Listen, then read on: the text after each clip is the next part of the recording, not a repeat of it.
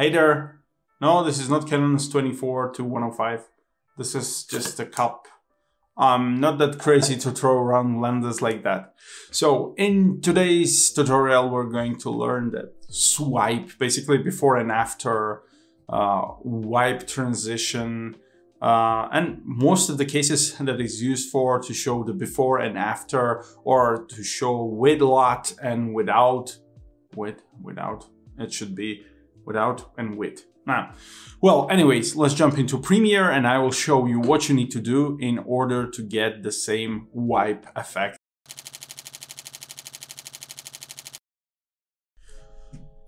So I already imported our footage and color graded it inside the Lumetri color tab and basic f-log to Rec 709 conversion here, little temperature, tint and highlight changes and also uh, in the creative tab I used some vintage look LUT to get this vintage effect.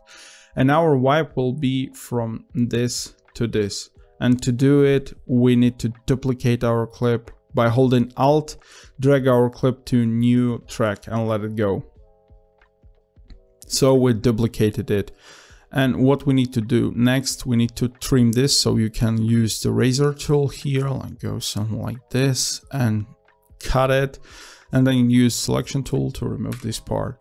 Or you can just go to the start of your clip and drag it like this. So both methods are good.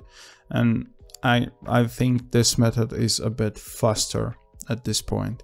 So we need to go to the layer below and here is our color grading. Inside the effect controls, we have the Lumetri color. So let's go back a bit to see, so you can see. We have this Lumetri color and we need to remove this. So basically our transition will go from this to this, but we don't have anything right now. And to make that transition happen, we need to go to the effects tab and we need to search for wipe. And you can see under the folder wipe, we have different types of wipes here and we need this wipe one. Drag it to the start of your first clip, the clip above with our LUT here, Lumetri uh, color, sorry. So let's play it back and you can see that we got that transition so before and after. And we if we need to like uh, extend this a bit click on the swipe and drag it like this. So it will go slower off or if you need to go like a bit faster do it kind of this way the opposite way and it will go faster.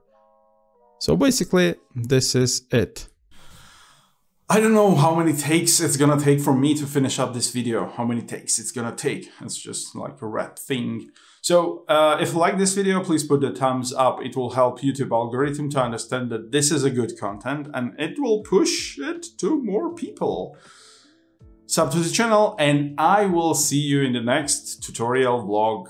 I don't know which content is gonna be next. See you then. Bye bye.